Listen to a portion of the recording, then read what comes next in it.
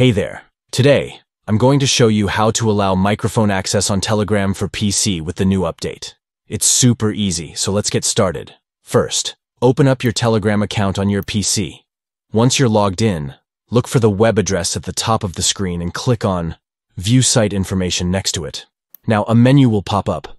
Click on Site Settings to access the settings for your Telegram account. Scroll down to the Permissions section and look for the option to enable the microphone. Simply toggle the switch to enable microphone access for Telegram. And that's it.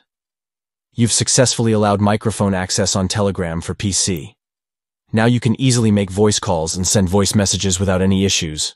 I hope this tutorial was helpful for you. If you have any questions, feel free to leave them in the comments below.